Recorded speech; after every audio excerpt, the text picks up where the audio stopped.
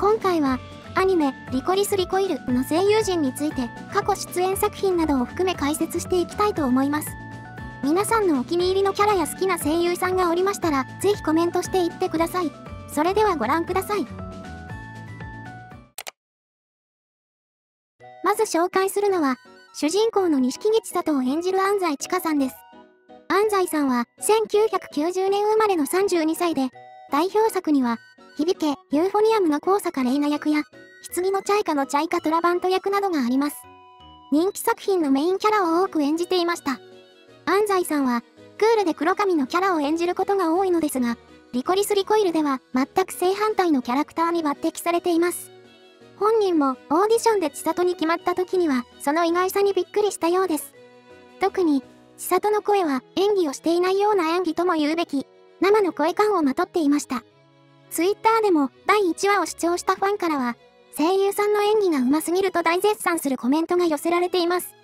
10年以上の芸歴を重ねた安西さんだからこそ、できる演技だったのではないでしょうか。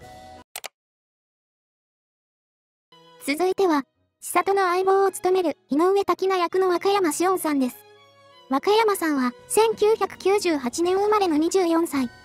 ダイナゼノンの南夢役や、空の青さを知る人よのあよい葵役など、最近の人気作品で活躍しています。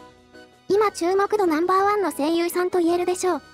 実は、元子役の経歴を持っており、過去には、大河ドラマ、年家と松、加賀百万石物語にも出演していました。年齢に反して、芸歴17年のベテランです。千里を演じる安西さんとは、ダイナゼノンで共演した中、今回の役が決まった時も、二人で喜び合ったエピソードがあります。滝な役を演じた後は、アニメファンから注目の的になっており、ツイッターでも他作品に和歌山さんが出演していると、滝名の声優の人だよねとコメントがついています。まさに、リコリス・リコイルが代表作になっているようです。次にご紹介するのは、中原瑞希役の小清水亜美さんです。小清水さんは1986年生まれの36歳。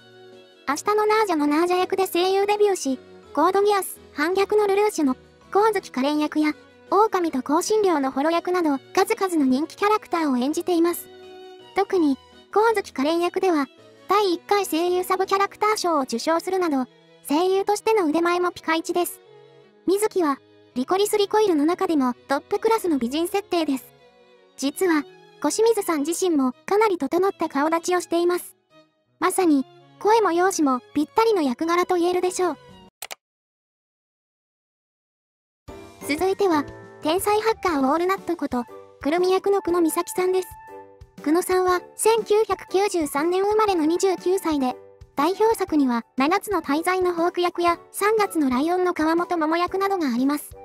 幼子のような声質が特徴で、本作で演じたくるみの容姿にもぴったり合っています。くるみは、謎の多いキャラクターであったため、キャラ作りには多くの苦労をしたそうです。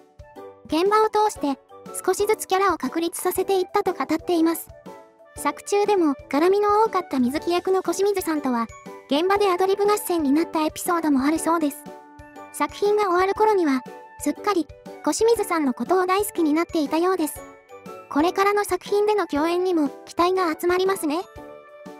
ここからは、その他の声優についても紹介します。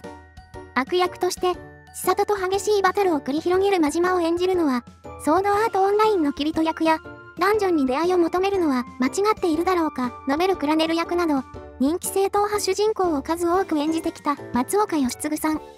千里たちが所属する喫茶リコリコの店長で、合色の肌を持つ大男、ミカを演じるのは、吹き替えや舞台で活躍する榊康介さん。